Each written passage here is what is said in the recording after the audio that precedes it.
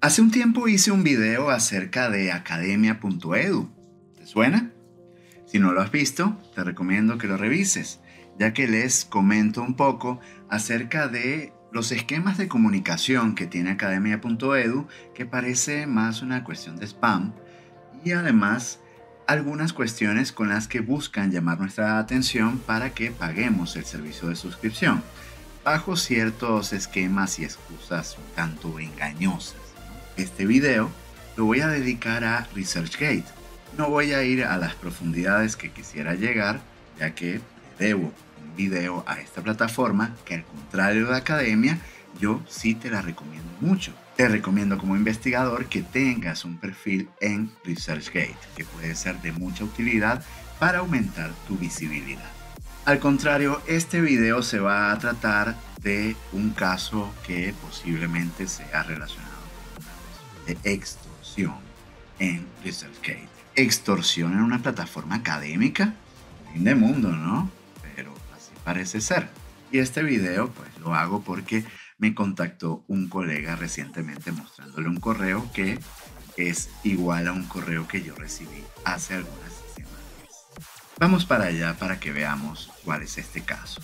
Muy bien, aquí estamos en la plataforma de ResearchGate y la conocen, podemos recibir y enviar mensajes a otros usuarios de la plataforma. Y hace 10 semanas, como marca allí, me llegó este mensaje de una tal Diana Tai. Pero ¿por qué sería sospechoso este mensaje? Bueno, vamos a examinarlo y además al haber visto que ya un colega recibió un mensaje idéntico, pues me hace sospechar más acerca de los remitentes. Fíjense que dice, mi nombre es Diana, soy de la Universidad de Hong Kong y me quiero comunicar. Bueno, saludos. Algo importante acá es, si te vas a comunicar, vamos a hablarlo aquí cerquita. Eh, vénganse. Si vamos a contactar a algún colega, bueno, ok, puede ser que me saludes de esa manera e inicies la conversación así, pero vamos a estar claros y digamos cuál es el propósito inicial de nuestra comunicación. Porque algo así de genérico, pues yo no te voy a hacer mucho caso. Si me dices que me contactas por alguna razón en específico, bueno, con todo gusto. Volvamos. Yo después de mandarle saludos, hola, eh, qué bueno que recibí tu respuesta, encantada de conocerte. Eh, soy de química, te vi en mi lista de recomendados y fui a México el año pasado, así que te añadí. Bueno, qué buena razón por añadir a un, a un académico, ¿no? No soy ni de tu área y nada más me agregaste porque fuiste a México. ¿A México? Eso es muy lejos. ¿Por qué? Espero que no te moleste. Estoy en Hong Kong. ¿Has estado allí? Saludos. Le digo, nunca he estado en Hong Kong. Si alguien de Hong Kong ve mis videos y me quiere invitar a dar una conferencia, yo con todo gusto. ¿eh?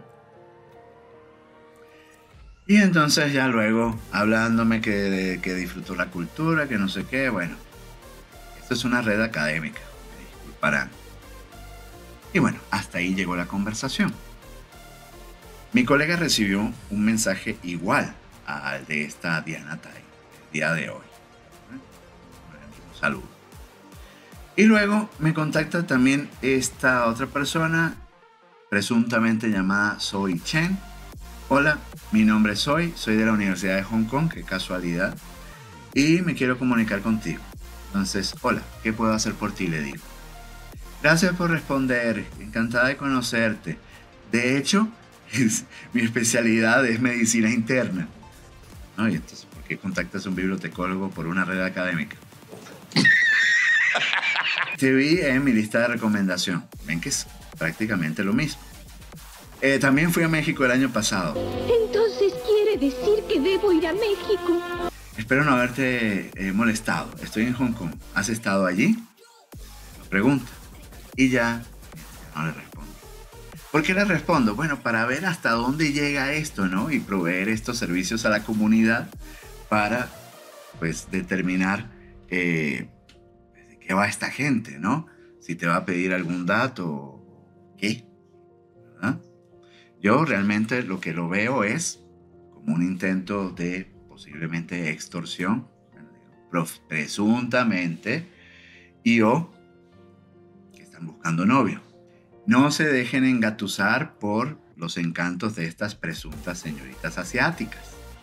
La asiática que quiero.